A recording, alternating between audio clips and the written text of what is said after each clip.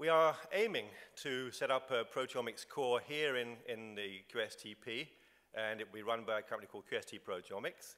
And our mission is to set up a, a world-class facility with a full range of tools. It's going to have training central to its mission. We're going to be frontline research. Our job, we, our, our mandate is also to produce new proteomics technologies. That's something we're very comfortable with.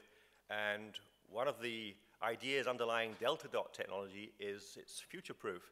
We have a label-free approach, which is unique and highly patented, one which allows you to miniaturize and speed up the separation process. Part of our job here in Qatar is to actually build new technologies based on that simple paradigm. We're going to aggregate and optimize new technologies into the proteomics initiatives. And working with stakeholders here in Qatar, we hope to develop panels of biomarkers using our core facility uh, and using their clinical expertise. The Proteomics Central Labs can act as a regional service laboratory, one which will service our colleagues in the stakeholders, but also within the region. And we're also very excited by the prospect of doing new initiatives like vaccine development, uh, therapeutic development, and we aim to do that in due course. Our, our mission, as you've seen in the, in the morning's talks, is to obviously help to contribute to the knowledge infrastructure and create sustainable wealth. This is a picture of where we aim to be, and we want to ask, answer the following questions. How can we address Qatar's healthcare needs? How can we add to the existing stakeholders' missions? How can we contribute to the rapidly growing biotech sector? And it's not just a job for Doha, it's also a job for the entire region. How can we ensure maximum benefit to Qatar through building alliances with world-class organizations and extending our existing networks to the needs of Qatar? So Delta Dot is the company I founded back in uh, 2000, and it's the market leader. We actually have achieved that vision. We have to find a new one. Um, I think we're the only company doing label-free, so it's quite easy to be the market leader in it. We spun it out in 2000 from Imperial, and it's a combination of particle physics, which is what I do, and molecular biology, which is what my brother does, and you'll be meeting him tomorrow. We have good patent portfolios, and we are good at building instrumentation. One of our problems has been the label-free approach is what people need in a wide range of applications, drug discovery, biotech, diagnostics, etc. And more recently, for the last two years, in vaccine development.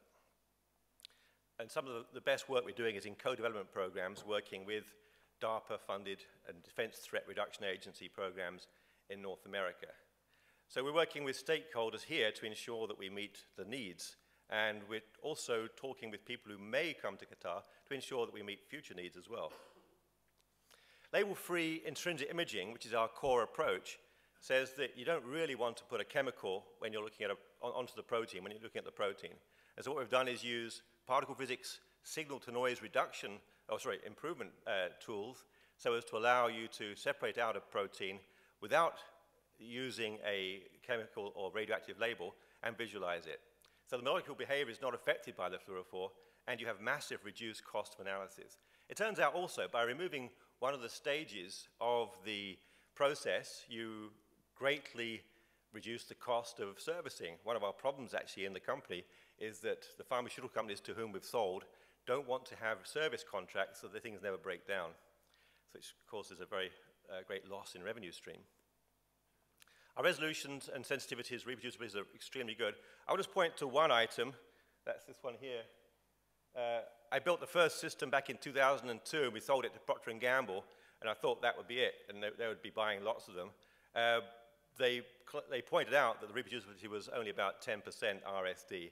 We got beaten up by Procter & Gamble for three years to make the reproducibility as good as it is now. Quantification is extremely good. As you'd expect, without a label on the system, quantification depends only on the way you visualize without there being any extra source of error from the way the chemical works. I'm uh, of interest at heart an astrophysicist, and I just point out this is a supernova before and after it explodes, and we see great analogs in the way you'd see uh, upregulated protein. This is a two-dimensional map. What we're also doing is, by uh, uh mathematical trickery, getting two-dimensional information from single-dimensional separations so as to make redundant these 1975 uh, technologies. Uh, dimensionality, again, this will be fairly obvious to everybody, I suspect, who's ever done a separation. Uh, single dimensional separations has a limited number of discrete data. If you get two-dimensional, you can get much more information, but also you, by looking at the axes and reading off, you get more information about a given separate analyte.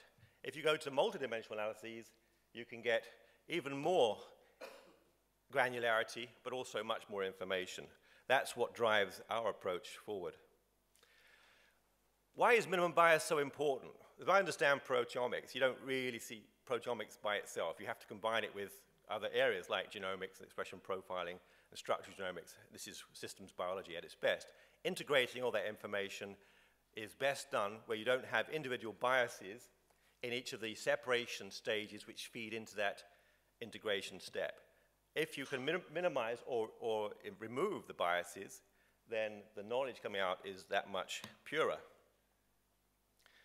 You can't get to zero bias. That's absolutely not possible in any scientific uh, measurement I know.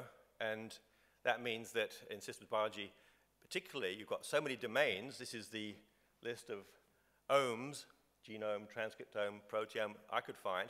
My favorite is the omeome, which is the aggregation of various omes. And the way in which you combine all those things together means that if you start out with minimum bias, you can probably end up with minimum bias. And let me repeat, chemistry of labels is inherently bias prone.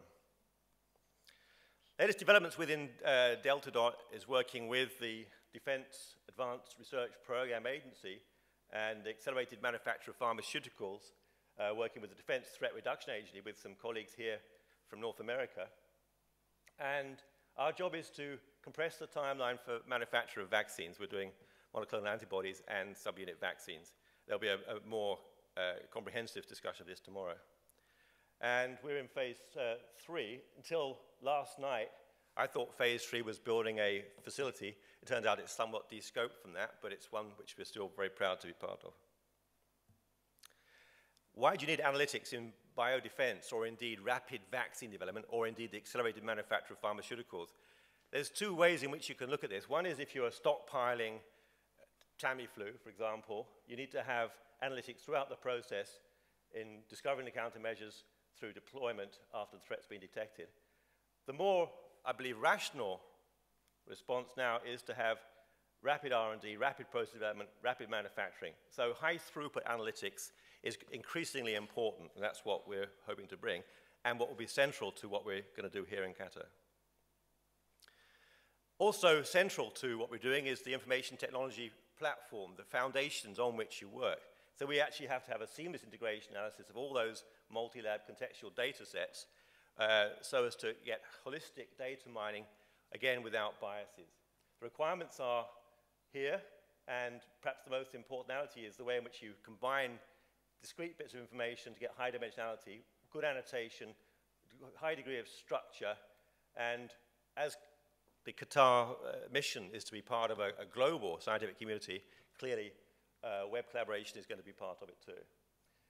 We also believe that we're working with clinicians, and we were very excited by the prospects of working, with, for example, with Weill Cornell, uh, linkage to existing uh, electronic uh, records and, and, clinical research systems, when appropriate, not before, is going to be a central part of the way in which we do research. We're also working with quite advanced tools. These workflows come from a company called InforSense, who build extremely elegant and very easy to use workflows throughout the whole of the proteomics process. This is my vision of, of how the thing might fit together. We understand there's going to be a tissue bank here. Uh, we are also heavily involved in this side of things.